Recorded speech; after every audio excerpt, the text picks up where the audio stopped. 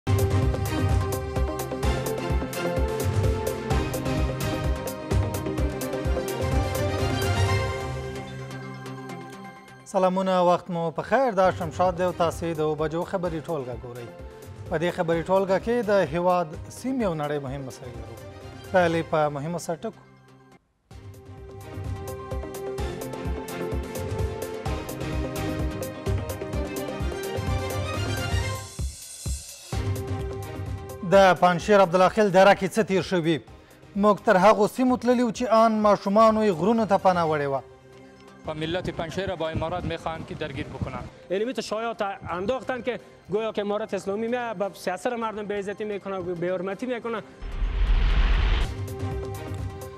د یووالي فرصت دی نه ضایع کوي سیمه او ګاونډیان هڅه کوي افغانان په خپلو منځیو شخړو واوړي جګړه هیڅ ګټه نه لري او افغانان دې بیداره اوسي هغه کسان په واسطه چې دوی بهر هیوادو ته تښتیدلي دي باید افغانان استعمال نشي شل میلیونه وګړي بیړنیو مرستو ته اړتیا لري هره ورځ نږدې لس میلیونه افغان ماشومان وږي پاتې کیږي او د امریکا سنا جرګې اوکراین ته د څلوېښت میلیارد ډالرو کڅوړه تایید کړه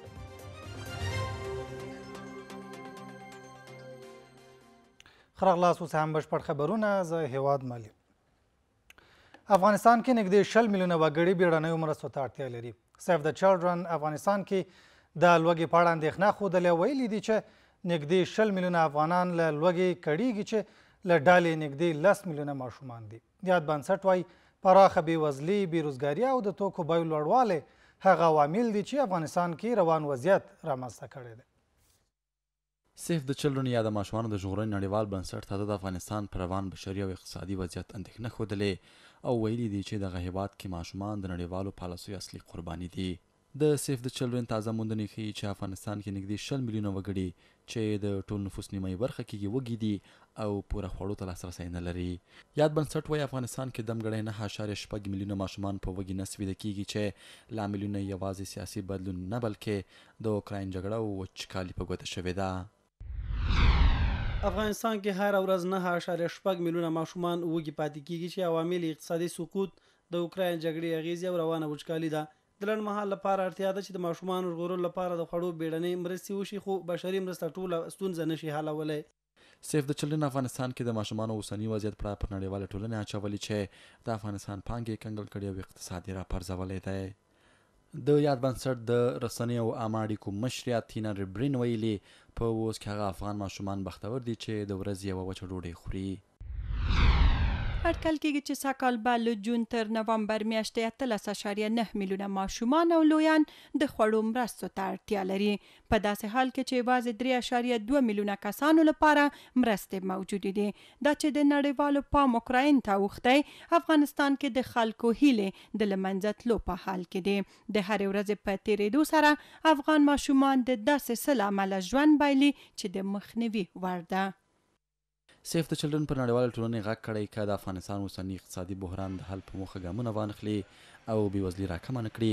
د افغان ماشومانو ژوند به لا سخت شي او د لوږې کچه به لوړه شي. د ماشومانو ملاتړ یاد بنسټ ټینګار کړی چې یوازې بشري مرستې د ستونزې حل نه دی. په اسلامي امارت نړیوال پام او باور کم شوی وروسته له هغې چې طالبانو د نړیوالو د تمې خلاف یو لړ اقدامات ترسره کړل په نړیواله کچه په طالبانو باور راکم شوی دی کارپوهان وایي د دې لپاره چې افغانستان له پامه ونه لویږي اسلامي امارت باید د تعامل او تفاهم پر بنسټ مخکې تګ وکړي اسلامي امارت له تیرو نهو میاشتو را په دیخوا د نړیوالو له لوري په رسمیت نه دی پیژندل شوی خو د نړیوالې ټولنې له لوري ورسره د خبرو اترو جریان او راشه درشه ښه روانه وه وروسته له هغې چې اسلامي امارت له شپږم پورته د انجونو پر مخ ښوونځي وتړل او په تازه پریکړه کې د ښځو حجاب جبري کول فرمان ورکړ دغه پریکړه په نړیواله کچه د طالبانو په اړه غوسه راپارېدلې ده د دولتونو ترمنځ څه چې د عادي افرادو ترمنځ هم د اړیکو او ښو اړیکو معیار باور دی. د باور معیار رښتیا، په ژمنو درېدل او یو مخي ده. په خواشنۍ سره باید ووایم چې طالبانو ورځ تر بلې د بنیادي او اړینو کارونو پر ځای هغه څه تر سره کوي چې نه یوازې د نړیوالې ټولنې بلکې د خپل ولس د ناهیلۍ او کرک کې باعث هم ګرځي،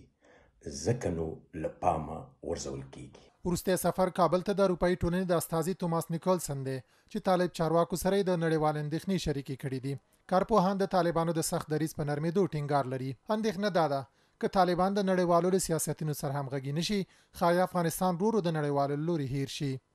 له یو لوري د اوکراین جګړې د نړۍ توجه له افغانستان څخه واړوله، له بل لوري په افغانستان کې دننه یو شمېر پرېکړې چې د اوسنۍ نړۍ او خلکو له غوښتنو سره سمې نه وې، د نړۍ پام یې له افغانستان څخه واړاوه.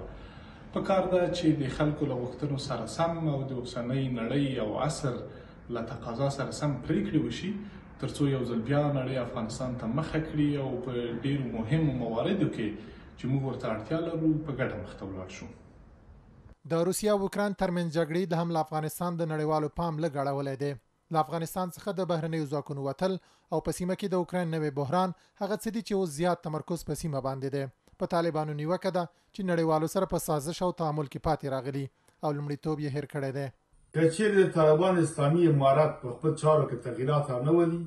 یا په دننه کور دننه خپله دنده ترسره نه کړي لکه خصوصا چې نړیوال وایي د نجونو ښوونځي باید پیل سي او معیاري حکومت جوړ سي همداسې د نړیوالو شرایطو ته لار شرایطو ته لار برابره نه کړي تر هغه چې هغوی سره اړیکې جوړې کړي او تعامل جوړ کړي دوی کولی چې زبرځواک هېوادونه خصوصا غربي نړۍ چې په افغانستان باندې نور تاثیرات نور قدرت وضع کړي اسلامي امارت بیا نړیواله ټولنه ملامتوي چې د دوی ارزښتونه له پامه غورځوي او د افغانستان په داخلي چارو کې د بدلونونو او وړاندیزونو ټینګار لري چې دا کار د دوی خپلواکي د پوښتنې لاندې راولي. خو په تېرو څو میاشتو کې نه طالبانو بدلون کړی او نه هم نړیوالو، ولې افغانان د دې ټولو له منفي اغېزو لاندې دي. پنجشیر کې له څه وخت جګړه پیل شوې او دا مهال هلته وضعیت څه ډول دی د خواجه عبدالله خیل سیمه چې د سقوط ادعا ویې کیږي اوس د چا په واک کې ده او د دې سیمې پر خلکو څه تیر شوي زموږ همکار فیصل ځلان تر هغو سیمو او درو تللی چې د نښتو وژنو زورزیاتي او سقوط په تړاو یې راپورونه خپرېدل هغه ولایت ته ورځو چې له تېرو شپږو ورځو راهیسې په کې د جګړو، نښتو او ان ځینو سیمو د سقوط په تړاو راپورونه خپرېږي.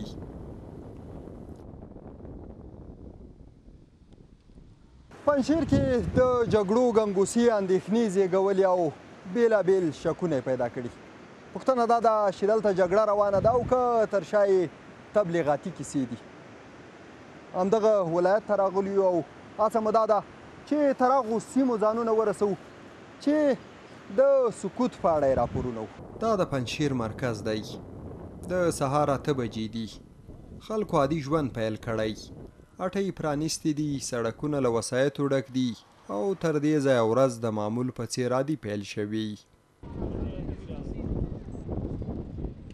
په پنجشیر مرکز کې د خلکو ډاډمن امنیت لپاره کلک امنیتي تدابیر نیول شوي او د وسایطو د پلټنې له چک پاینټونو هیڅوک مستثنا نه دي ډاله کې څه دی استاد درالم جګاوي شي لک بخښه کوم که څه مشکل نه و بس خیر لاړ شي دلته له لرې ولایتونو نه هم یو شمېر ځوانان راغلي او ښايي دا یې لومړی ځل وي چې دا ولایت وویني. دوی د هغو اندېښنو او راپورونو پر وړاندې بې پروا دي چې د دې ولایت په اړه له څو ورځو خپرېږي. هېڅ مشکل نشته فیسبوکي جنګونه دي وایي پنجشېر یې نیولی دی ټاک ستا ټوک ستا مګر ان شاء الله هېڅ مشکل نشته. خو وروستیو ورځو کې دلته د جګړو او ناامنیو په اړه خبرونو افغانان شکمن کړي او اندېښنې یې زېږولې. د پنجشیر له مرکز کیلومترونه وړاندې راغلي یو وړاندې په ټولنیزو رسنیو کې ادعا کېده چې د عبدالله خېلو په ګډون یو شمېر سیمې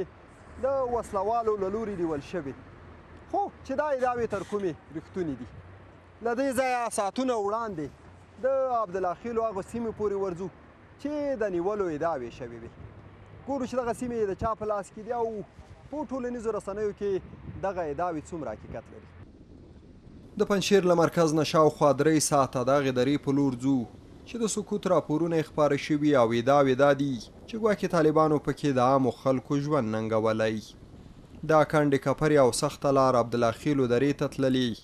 هغه دره چې د مقاومت په نوم د اسلامي امارت مخالفې جبهې په کې د سختو نښتو او سقوط ادعا کړې.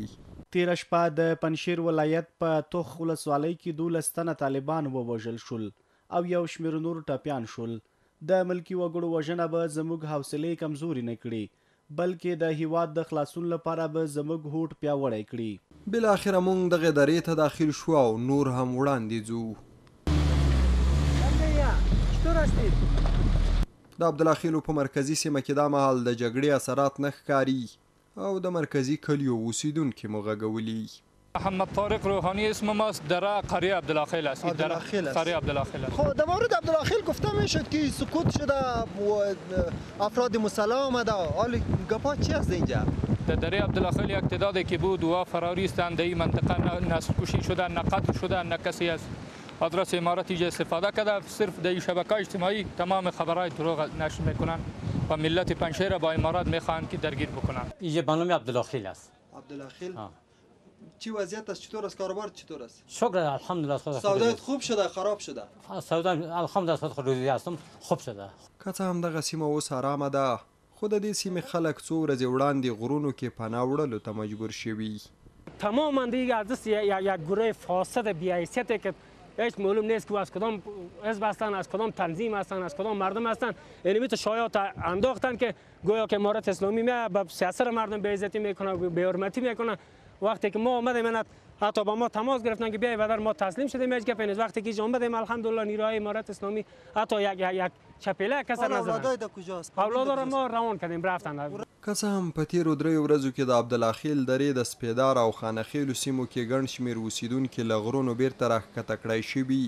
خو لا یې هم د ژغورنې هڅې روانې دي. غر ختلو ته اړ ایستل شویو کورنیو کې ډیری یې ښځې او ماشومان دي چې په غرونو کې پرې سختې شپې تیرې شوې. ای نیست نسل کشی نکنن ما من مولم گفتم من زبان زبان فارسی صحبت میکنم روی خوب کردن روی خوب کردن اینطور نکردن که خدای نخواسته فامیلی سر مردم ظلم کرده باشن فشار کرده باشن ای کرده باشن یک ترتیب دیگه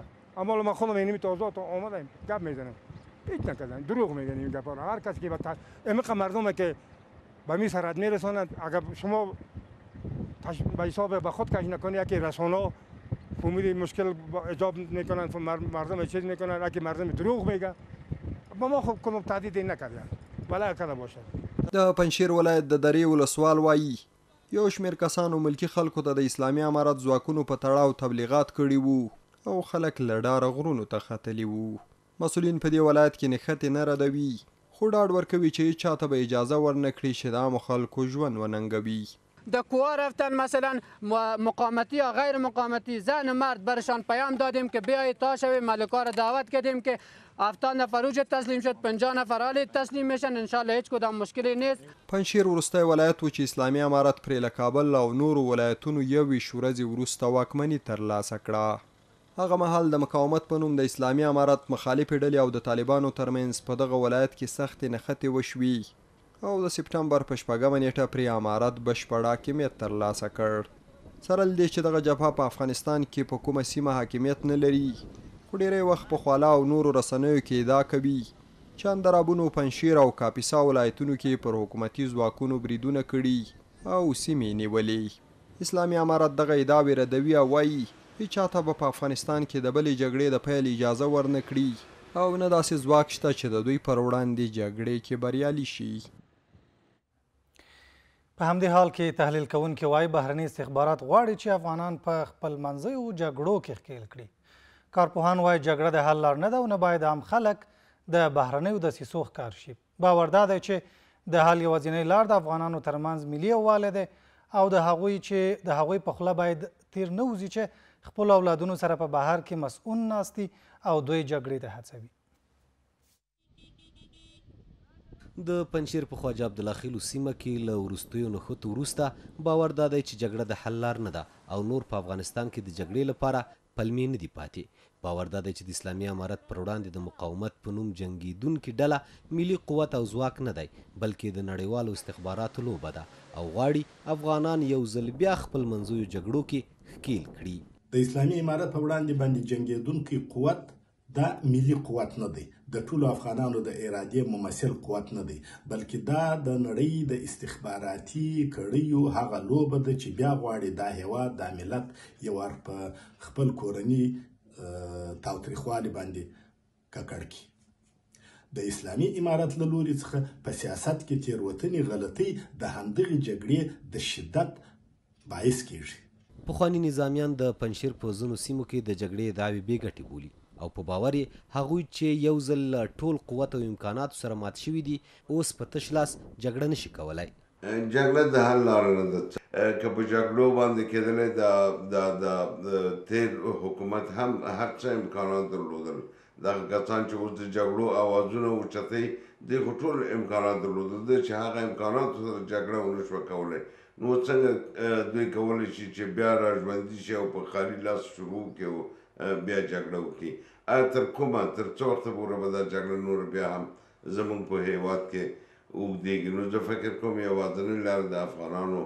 ملي وحدت او یووالی دی. موږ. ځینې بیا د دغه ولایت له خلکو غواړي چې د هغو کسانو په لمسون دې خپل زامن د مرګ خولې ته نه ورکوي چې له هېواده تښتېدلي دي او له خپلو کورنیو سره بهر کې مصئون ژوند لري. طالبان په ټول افغانستان کې حاکمیت لري، کومې جګړې چې په دې وروستیو کې په پنجشېر او. رامنځته شوې، د تشویش وړ نه دي، کوم خلاف او یا اختلاف چې د طالبانو او د مقاومت جبهې ترمنځ شتون لري باید د خبرو د لارې حل شي، جګړه هیڅ ګټه نه لري او افغانان دې بیداره اوسي، هغه کسانو په واسطه چې دوی بهر هیوادو ته تښتیدلي دي باید افغانان استعمال نشي. جنگ به عنوان شومترین پدیده بر بشر خصوصا بر مردم افغانستان هیچگاه خوشایند نبوده مردم افغانستان خسته از جنگ و بدبختی های جاری در کشور هستند. د تیر حکومت د پوځ لوی درستیز بیا په خپلې ټویټر پاڼې لیکلي، چې د یو افغان په توګه د هرې جنګي ډلې مخالف دی او د مقاومت په نوم له ډلې یې غوښتي چې د پردیو په لمسون دې خپل هېواد د تېر په څېر د جګړو پر ډګر نه بدلوي. اوس د یووالي لپاره ښه فرصت دی، که یو ځای نه شو، دا ځل به ډېر پښېمانه یو، زه د یو افغان په توګه د هرې جنګي ډلې مخالف یم او وم او همیشه به اوسم. هیڅ افغان ته نه ده په کار چې د جنګ لاره غوره کړي. هغوی چې د مقاومت چغې وهي هیله کوم خپل هیواد د پردیو په لمسون بیرته زوړ حال ته مه ګرځوئ. څو ورځې وړاندې د پنجشیر له ځینو سیمو د جګړو خبرونه خپاره شول چې ګواکې د مقاومت په نوم ډلې ځینې کلي او سیمې نیولي دي خو اسلامي امارت د سیمو نیول رد کړي او زیاتوي چې هیڅ چا ته اجازه نه ورکوي چې د خلکو فزیکي او رواني امنیت مختل کړي.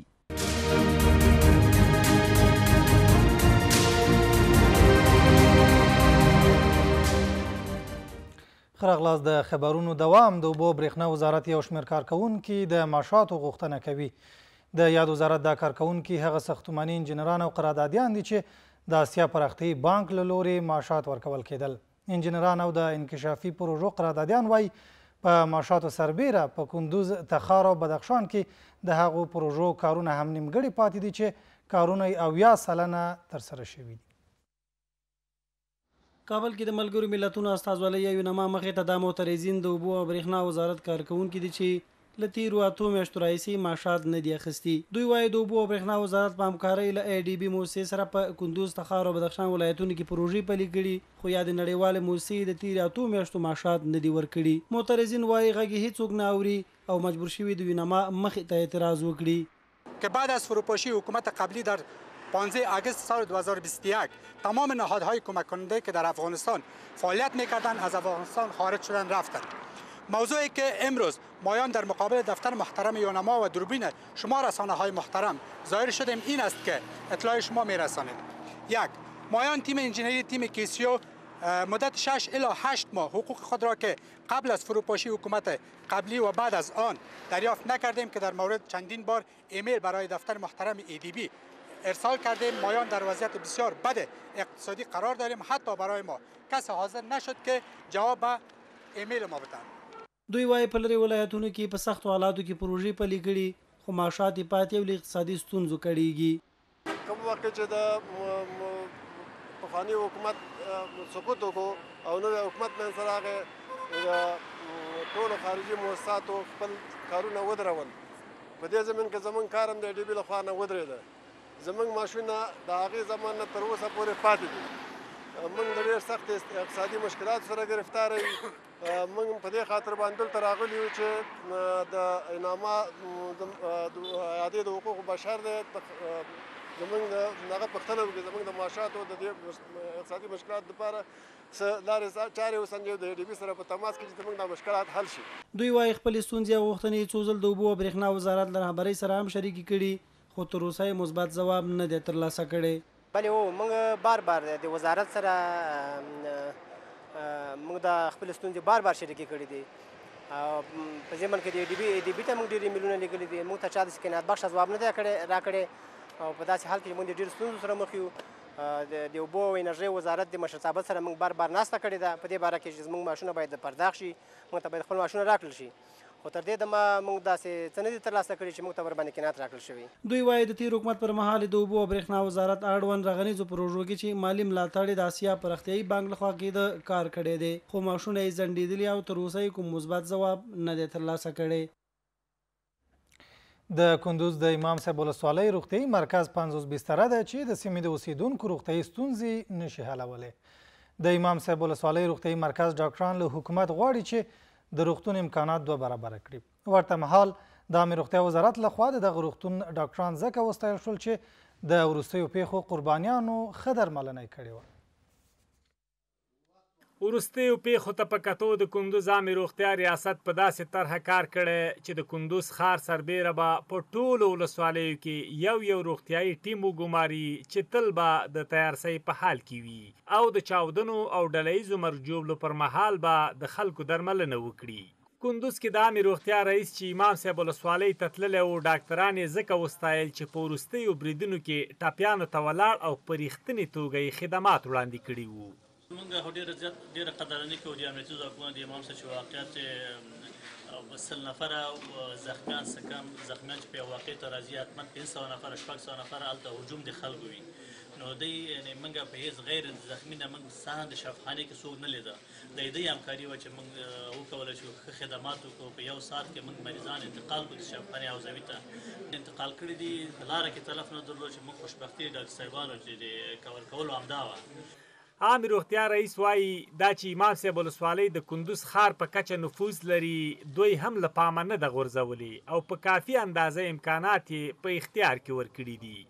دلته تقریبا یو پنس کسان پرسونل لرو او ډیر شفخانه چې موږ امام صاحب کې او خان آباد کې د ولسوالۍ په سطح دا شفخانه ده نو کافي اندازه سره نفوس لرو پرسونل لرو منابع بشري لرو او دوا پارسه کې ان شاء الله هیڅ مشکلات نه لرو موږ په اوس نوې پالیسی ده د سیاحت عامې چې په هر دېرش شفخانه کې یعنې ولسوالۍ شفخانه کې دوه سوه نفرو دپاره عاجل واقعات دپاره زخمیانو دپاره موږ اضافه سټاف ولرو او اضافه دوا ولرو چې خدای نه خواسته داسې واقعې که پرې چېرې پېښېږي نو د همغه سټاک نه همغه دوا نه باید موږ استفاده وکړو که د هغې نه باید اقبال ورته مهال د دغه روغتون ډاکتران وایي روغتون یې د کم نفوس په ظرفیت جوړ شوی خو اوس د دغه ولسوالۍ وګړي د کندوز ښار له اوسېدونکو هم زیات دي او دغه روغتون باید سل بستره ته پورته شي.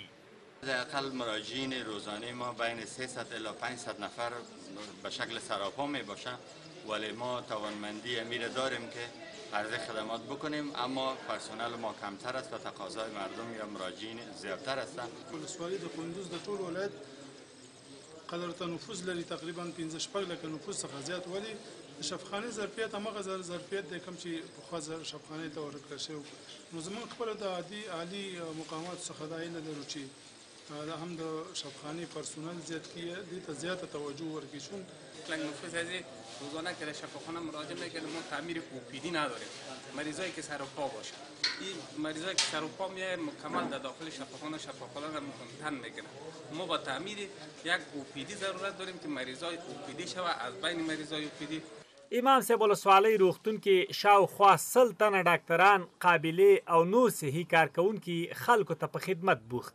دي. وروسته له هغه چې په امام صاحب ولسوالۍ کې په یوه خانقاه برید وشو او ګڼ شمېر ټپیان دغه روغتون ته راوړل شول او د ډاکترانو له خوا ورته په وخت او ښه خدمات ترسره شو نو د وزارت پام یې خپل ځان ته راواړوو او د اړونده وزارت له لوري د دغه روغتون ټول ډاکتران رسماً وستایل شول. عبدالله ساحل، شمشاد نیوز، قندوز، امام صاحب ولسوالي.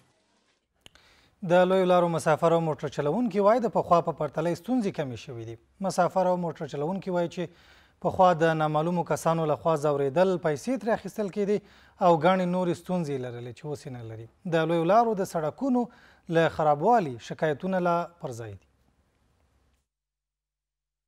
د کابل، کندهار، هلمند، نیمروز او یو شمېر نورو لویو لارو مسافر او موټر چلوونکي وايي، چې ګڼې هغه ستونزې یې حل دي، چې دوی ورسره په تېر وخت کې لاس او ګرېوان وو. دوی وايي، پخوا به ترې هر ځای کې له مسؤلو کسانو ناقانونه پیسې اخیستل کېدې، د لارې په اوږدو کې به لوټل کېدل، خو د اسلامي امارت په راتګ سره یې یادې ستونزې پوره حل دي.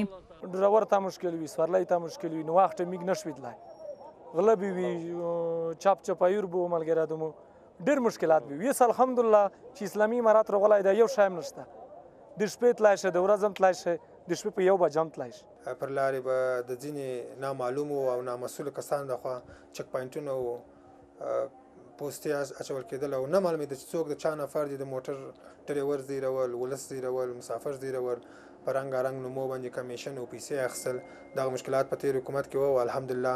اوسنی حکومت د امارت اسلامي چې راغلی دی انشاءالله دغه مشکلات تر ډېره حده حل شوي دي موټر چلوونکي او مسافر د سوېل ختیځ زون د لویو لارو د خرابوالي سر ټکوي او وايي، چې ګڼې ستونزې یې ورته جوړې کړې دي، خو د ټولګټو وزارت بیا وايي، چې د یادو سړکونو د رغونې لپاره پلانونه لري او ژر به یې عملي کړي. از یاد می شم بله به واسطه از اینکه سرکا زیاد خراب است مثلا اگر سرک جور باشه موتر به 14 ساعت 15 ساعت میره به شهر به هرات می کابل می حال امو رسیده به 20 ساعت نوزده ساعت بله یعنی چهار ساعت پنج ساعت تفاوت کرده با واسه این که سرکا خرابه اذیت مسافر همینه فقط دیگه الحمدلله اذیت ندارم شکر اگه جور شه ما هم بیغم میشیم اسوده میشیم هیچ بازدبی ما را نمیکنه سرک که جور باشه مسافر هم اسوده است خود ما هم اسوده هستیم د کابل هرات لویه لار چې دوه برخې لري له کابل تر کندهار او بیا له کندهار تر هراته پورې مجموعي ډول کابو یوولس سوه کیلومتر لار ده. د دغې اساسي بیا رغونه په اساسي ډول بیا رغونه یې زموږ د نوي کال یو له مهمو پلانونو ده او تر څنګ یې د سالنګ لویه لار. په دغه اړه باندې زموږ تخنیکي ټیمونه کار کوي او هڅه کوو تر څو څومره ژر کېدلای شي پر دغه لار باندې کار پیل کړو. ورته مهال بیا مسافر د کرایو له ډېر لوړوالي شکایتونه کوي او وايي چې په دغسې سختو شرایطو کې نه شي کولای چې موټر چلوونکو ته لوړې کرایې ورکړي، خو موټر چلوونکي د کرایو د لوړوالي لپاره خپل دلیلونه وايي. د ترانسپورت او هوایي چلند وزارت بیا وايي چې ټولو ولایتونو ته یې د کرایې لایحې جوړې کړې دي او د بشپړو عملي کېدو په هڅه کې دي. د هلمند داسې چې موږ روانېږو تر کابله پورې د مخه د تر کابله پورې کریا اوله پلا اوه سوه افغانۍ وه اوه نیم سوه افغانۍ اوس نه سوه افغانۍ زر افغانۍ درڅه اخلي نو په لار کې د هوټلو مصرف هم هغه مصرف چې هلته په ښارو کې بې له دغه مسافرخانو باندې پنځوس افغانۍ وه دلته ستاسو یو نیم سل افغانۍ اخلي یو ترموز چای تا ته درکوي په پنځوس افغانۍ وایي که شپه دلته یو ګړۍ بېدېږي ورځ نیمه تیره یې نو یو نیم سل افغانۍ دوه سوه افغانۍ درڅه غواړم که ما څه چای څښې اوبه درته ځي او دغه درڅه غواړم پنځوس افغانۍ نو دغه مشکلات لرو موږ خوست ولایت ته مکتوب راغلی و چې دا کریا ګرانه ده او دا کریا دې ټیټه شي موږ چې حساب ورته وکړو څلور سوه روپۍ په شل ورځو کې موږ ته نه پاتې کېږي پټرول ډیزل هر څه ګران دي موبلین هر څه ګران دي په پنځلس ورځو کې یو لمبر وری خلک وړو پورو موږ لګیا یو د اختر نه یو لس شپې مخکې د کرایه فورمول وټاکل شو نو موږ په ټولو برخو کې تطبیق ته کار روان کړی د تطبیق کېږي عملا هم لېږلي دي نو ډېری تطبیق شوي دي خو بیا هم امکان لري بعضې موټر د ترمینل څخه نه ځي بل ځای څخه حرکت کوي خلک پکې کیني نو هغو لږ کنټرول به ورو په ورو سره سم شي انشاءالله. د هېواد زیاتره لویې لارې پخوا ناامنه وې چې مسؤلین یې د لا زیات امنیت ډاډ ورکوي او د سړکونو د بیا رغونې لپاره پلانونه لري چې ژر به یې عملي کړي.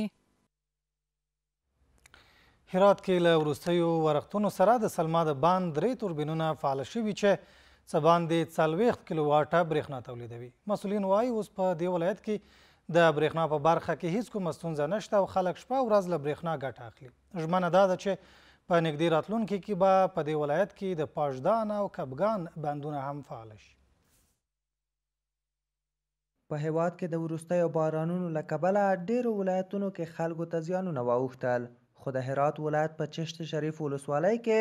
د وروستیو ورښتونو له امله د سلما د بند درې غیر فعال توربینونه فعال شول. د سلما بند د توربینونو په فعالېدو سره د هرات ولایت په برېښنا کې څه باندې څلوېښت کیلو واټه زیاتوالی راغلی دی. د سلما درې توربینونه فعال دي او تقریباً دوه دېرش میګاواټه برق تولیدوي د اوسپېلان لپاره.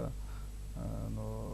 کاري جاري روان ان شاءالله د اوس فعلا لپاره ان شاءالله مکمل د هرات ستونزې حل دي کوم مشکل نشته برغې مکمل نورماله چلیږي هیڅ کم کم کمبود د اوس لپاره نشته. د باني سلمه پر برابر باندې چې کومه خبره درته وکړم هغه به تقریبا دا د په اخرو بارندګیو کې د دې درې توربینه نه دي فعال شوي بلکې د دې نه مخکې موږ درې توربینه فعاله کړي دي چې هغه د حمل په برج کې تقریبا موږ دا درې توربینه څخه استفاده کړې چې وبو میله کړې د بند سلمه ده دا درې توربینه فعاله وه تقریبا دو څلوېښت میګاواټه برق تولیدوي په ساعت کې نو د دې څخه ډیر خلک استفاده کوي ځکه دا دلته هرات ته راځي شارک صنعتي د دې څخه بیا توزیع کیږي دغه ځای د هرات ولایت اته ولسوالۍ د سلما بند تر پوښښ لاندې دي او له دې سره به پنځه اویا زره هکټاره ځمکه خړوبه شي. تقریباً د دې بند تر پوښښ اته ولسوالۍ لاندې دي. اته ولسوالۍ هغه ځمکې یې خړوبوي. اته ولسوالۍ تقریباً په پنځه اویا زره هکټاره ځمکه دا خړوبوي. د سلما بند د مسؤلینو په خبره په هرات ولایت کې اوس مهال یوازې د سلما بند فعال دی او په پام کې ده چې په نږدې راتلونکي کې به د کروخ ولسوالۍ پاشتان بند او د پښتون زرغون ولسوالۍ کپکان بند هم فعال کړي. هرات کې خو تقریبا چې اوس فعال بند دی دغه بند سلما دی. سلمیه بند دی نو دلته دا د پاشتان بند هم د کروخ په ولسوالۍ کې چې موقعیت لري نو دا هم ډیر کارونه یې مخته تللي لږ کارونه یې پاتې دي چې دا به انشاءالله په نږدې وخت کې د دې کارونه هم شروع شي نو نور بندونه چې بند د کپګان ورته وایي دا هم په پشترغون ولسوالۍ کې موقعیت لري دا هم ډیر مفید بند دی که چیرې دا جوړ شي نو دا به هم د هرات لپاره یو ډیر خوشحالۍ زیری پاشتان د تقریبا درې توربینه دي نو دا د سلمې په مناسبت باندې دا هغه ته دا لږ دی. هېواد کې داسې ډېر بندونه شته چې تر اوسه غیر فعال دي او په فعالېدو سره یې امکان شته چې د برېښنا له پلوه هېواد پر ځان بسیا شي او دا ستونزه به په پوره توګه له منځه لاړه شي. نذیر هاشمي شمشاد نیوز هرات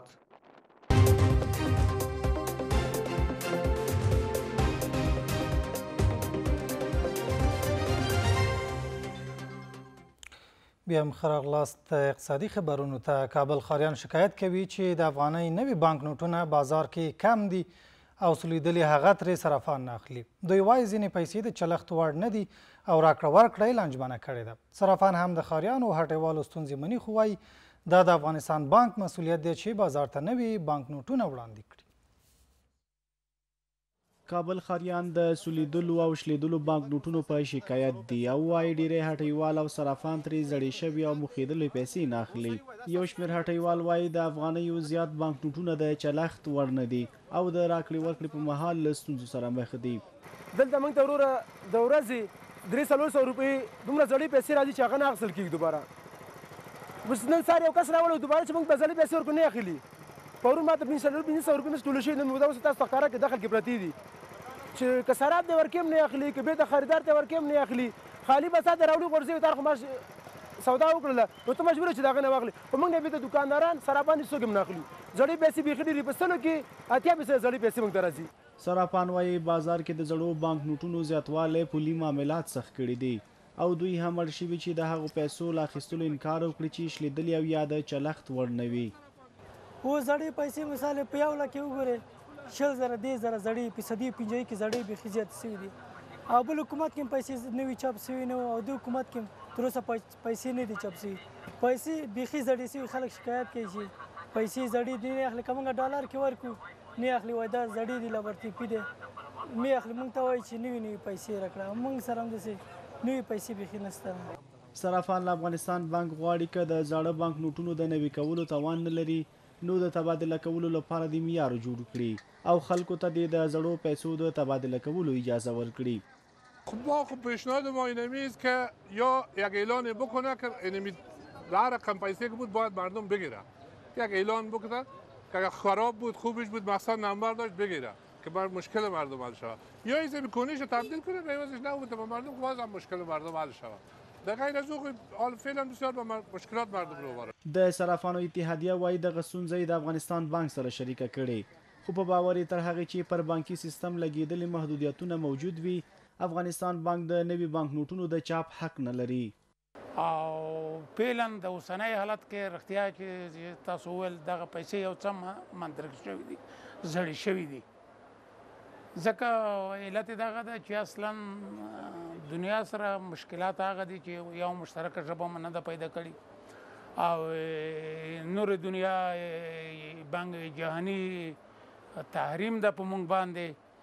او د دې لپاره چې نوې افغانۍ چې کله راچاپیږي نو واقعا د خلکو لپاره او خزه رایدا مګر پیلن دا غونای رختیا چې زړی شوی دی مشتری سره جنجال دی بنک سره جنجال دی هڅه مو وکړه چې په دې تړاو د افغانستان بانک د ویاند نظر ولرو، خو له هڅو او بار بار اړیکو سره یې نظر شریک نه کړ. یوازې د کابل ښار اوسېدونکي د زړو بانک نوټونو شکایت نه کوي، بلکې د ټول هېواد په کچه د شلېدلو او زړو بانک نوټونو شتون د عامو خلکو سربېره دوکاندارانو او صرافانو ته مالي زیانونه اړولي دي. اوس هم څو نور لنډ مهم خبرونه. امریکا د افغانستان او اوکراین حکومتونو په تړاو ناسم قضاوت کړی و. د امریکا له استخباراتي مسؤلینو د تیر حکومت د سقوط په خاطر پوښتنې کیدای شي چې په دغه ترڅ کې پر خپل ناسم قضاوت اعتراف وکړ. د امریکا استخبارات وایي د دغو دواړو هیوادونو د حکومتونو دوام په اړه یې قضاوت ناسم و. دوی وایي د افغانستان په اړه یې ګومان نه کاوه چې دومره ژر به تیر حکومت سقوط وکړي او د اوکراین په اړه یې تصور نه درلود چې د روسیې پر وړاندې به اوکراین مقاومت وکړي. د امریکا د سنا دفاعي کمېټې غړي وايي، له دغه ناسم قضاوت چې یې څه زده کړي، هغه به د دوی راتلونکې بهرنۍ پالیسي کې په کار شي. د ملګرو ملتونو په امنیت شورا کې سبا د افغانستان په تړاو غونډه کېږي. دغه غونډه د دې لپاره راغوښتل شوې چې د افغانستان د روان وضعیت او د اسلامي امارت له لوري د یو شمېر محدودیتونو په تړاو په کې خبرې وشي. راپورونه وايي، په دغه ناسته کې به د افغان ښځو پر وړاندې د تازه پرېکړو په اړه هم خبرې وشي.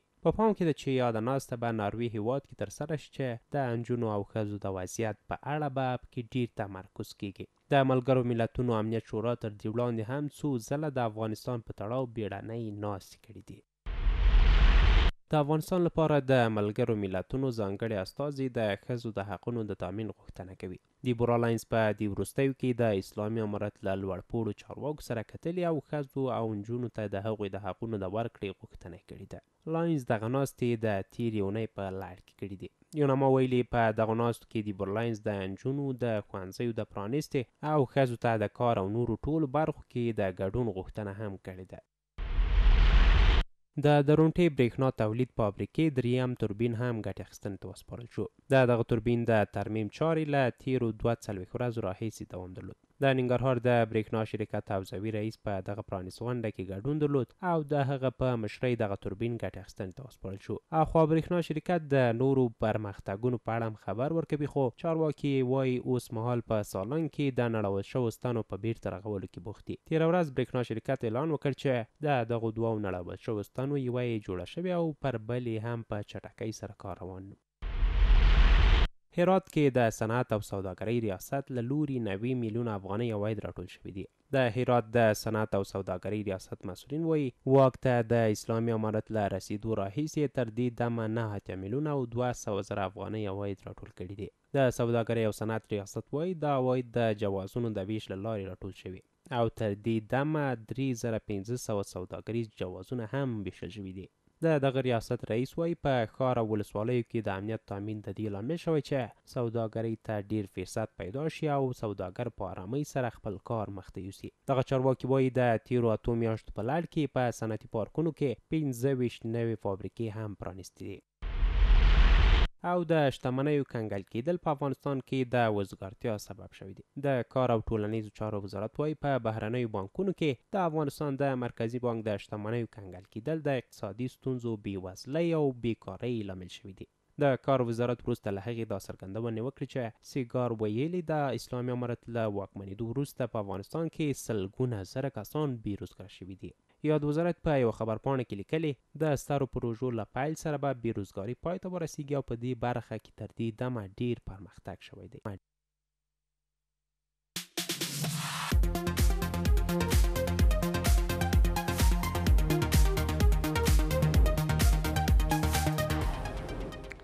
د سپورټ له ډګره به مو سمې هلال خبر کړي په جوزجان کې د فوټبال غوره لیګ پیل شو جوزجان ولایت کې د یولس لوبډلو ترمنځ د 1401 کال فوټبال غوره لیګ نن پیل شو د پیل سیالي د البرز او نایاب کلب ترمنځ ترسره شوه چې البرز لوبډلې د پنځه صفر ګولونو په توپیر وګټله. ویلو ده چې اتله لوبډله به د شمال لویدیځ په انتخابي او د افغانستان په اتلانو لیګ کې ولوبیږي. شکیب الحسن په کرونا ویروس اخته شوی. د بنګله دیش کرکټ ملي لوبډلې آل راونډر لوبغاړی شکیب الحسن د سریلانکا پر وړاندې د ټیسټ لوبې مخکې د کرونا ټیسټ پایله مثبته راغلې چې له امله یې نوموړی په لومړۍ ټیسټ لوبه کې نه لوبیږي. دا د لنکا سره د لوبې مخکې دریم بنګله دیشی لوبغاړی دی چې له نوملړې ویستل کیږي. له دې مخکې مهدي حسن میراز، او تسکین احمد هم له نوملړ ویستل شوي وو. بنګله دېش او سرلنکا کرکټ لوبډلې لومړۍ ټېسټ لوبه د روانې مۍ میاشتې په پنځلس مه نېټه ترسره کوي. بنګله دېش کرکټ بورډ لا هم د شکیب الحسن پر ځای بل لوبغاړی لوبډلې ته نه دی غوره کړی. برینډن میکالم ممکن د انګلستان کرکټ ملي لوبډلې روزونکی شي. د نیوزلنډ کرکټ ملي لوبډلې پخوانی لوبغاړی او لوبډلمشر برینډن میکالم تازه د انګلستان ټېسټ لوبډلې د روزنې لپاره ازموینه ورکړې ده. مکالم له دې مخکې حتی د فرسټ کلاس روزنه نه وه کړې، خو په انګلستان کې د نوموړي د ټاکل کېدو خبرې ګرمې روانې دي. مکالم اوسمهال هند غوره لیګ کې د کولکتا نایټ رایډرز لوبډلې سره د اتو پوهنې برخې روزنه کوي، چې دا یې درېیم پړاو دی. د برنډم مکالم ترڅنګ نورو پخوانیو لوبغاړو روزونکو ګیري کرسټن، سایمن کیچ، پال کالینګوډ او ګراهام فورډ هم ازموینه ورکړې. او ګجرات ټایټنز لوبډله هند غوره لیګ کې د لومړۍ لوبډلې په توګه دویم پړاو ته لاره وموندله. ګجرات لوبډلې د تېرې شپې په لوبه کې لکنو سپر جاینټ لوبډلې ته په ماتې ورکولو سره وکړای شو چې د دوه زره دوه ویشت م کال هند غوره لیګ دویم پړاو ته د لومړۍ لوبډلې په توګه لاره ومومي. د تېرې شپې په لوبه کې افغان ستوري لوبغاړي راشد خان د ګجرات لوبډلې لپاره په درې اعشاریه پنځه اورونو کې څلېرویشت منډې ورکړې، څلور لوبغاړي یې وسوځول او لکنو لوبډله یې پرېنښوده چې کم یې یو سلو پنځه څلوېښت منډې هدف پوره کړي. د لوبډله په درجه باندې کې ګجرات ټایټنز لوبډله لومړی خو ممبۍ انډینز لوبډله د نهو ماتو سره په وروستي مقام کې ځای لري په دې سره مو دا خبرې ټولګه پای ته رسیږي له تاسو خپل همکارانو مننه